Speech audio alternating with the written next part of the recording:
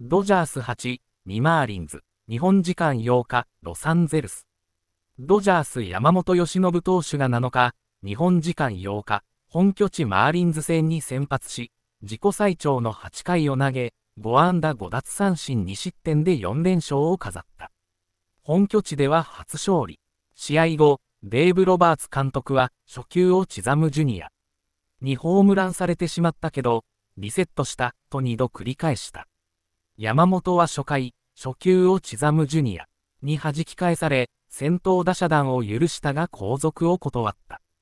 2回から5回までゼロを並べた。初球から19球連続ストライクをマークするなど、97球を投げて73球がストライク。抜群の制球が光った。試合後、ロバーツ監督はファンタスティック、ファンタスティックと2度繰り返し大絶賛。最初の30数球のうち29球がストライクだったと思う。先頭打者ホームランで崩れず、相手の積極性を逆手に取ったと賛辞を止めなかった。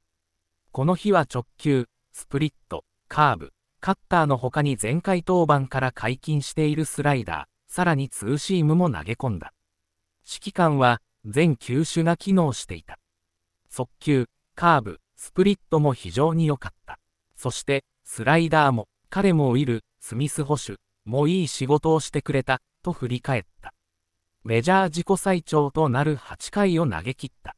試合を通じてストレスを感じていなかったし、私の見る限り何か欠けているものもなかった、と理由を説明。チームは守護神のエヴァン・フィリップス投手やゴーアン・ジョー・ケリー投手ら、救援投手が相次いで負傷者リスト IL、配理している状況。